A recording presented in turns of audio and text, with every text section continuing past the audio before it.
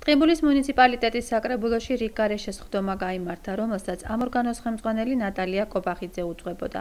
შეხვედრას მუნიციპალიტეტის მერი თემურ ჯუბინიძე, მაჟორიტარი დეპუტატის ბიუროს წევრები, დეპუტატები და მომხსენებლები ესწრებოდნენ. დღის წესრიგის თანახმად 14 საკითხი იქნა განხილული. პირველი მათგანი 2018 წლის პროგრამული ბიუჯეტის შესახებ 22 დეკემბრის 53 დადგენილებაში ცვლილებების განხორციელებას შეეხებოდა. რომლის შესახებაც ინფორმაცია საფინანსო საბიუჯეტო სამსახურის უფროსმა ვახტანგ გვენეტაძემ წარმოადგინა. გასული წლის ბოლოს არსებული ნაშთიდან ამ პერიოდისათვის მიმართულმა თანხამ 3 მილიონ 119.000 ლარი შეადგინა, რომელიც გადასახდელების მიხედვით შემდეგნაირად გადანაწილდა მიმდინარე თუ დასრულებული პროექტებისათვის.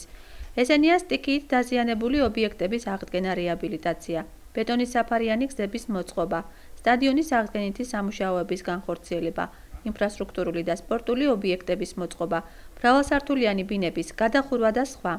ადგილობრივი მუნიციპალიტეტის მიერ პრიორიტეტებად მიჩნეული იქნა სკოლამდელი აღზრდის დაწესებულებები, დასუფთავების ღონისძიებები და საქალაქო ტრანსპორტი. ამიტომ ამ დარგებში გაზრდილი იქნა სუბსიდიები. ხდომაზე რამდენიმე დადგენილების პროექტს ერთხმად ეყარა კენჭი, რომლებიც მერიის სამსახურების დებულებების დამტკიცებას, ხოლო ნაწილი ცვლილებების შეტანას შეეხებოდა.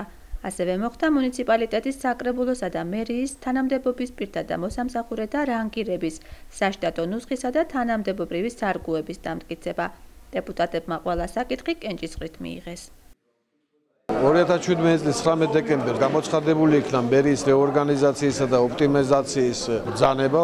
ჩვენ მაქსიმალურად ორი თვის განმავლობაში დაძაბულად ვიმუშავეთ, გადავალაგეთ სამსახურები განყოფილებები, სპეციალისტები, სამსახურის უფროსები ისე რომ შეიძლება და მე ის საქმიანობა უფრო ეფექტიური გამختارიყო ეს პროცესი გაგრძელდება კვლავით და დასრულებული არაფერი არ არის ამან გამოიწვია შესაბამისად ბიუჯეტში ცვლილებების შეტანა ამასთან ერთად შემოსავლები შემოვიდა გარკვეული ეს რა თქმა უნდა შესაბამისად უნდა ასახულიყო პროგრამულ ბიუჯეტში და ეს საკითხები გამოვიტანეთ დასამტკიცებლად საკრებულოს თომაზე. ჩვენ ველოდებით რეგიონული განვითარების სამინისტროს და დამატებით შემოსავლებს შესაბამისად კვლავ მოხდება ცვლილების შეტანა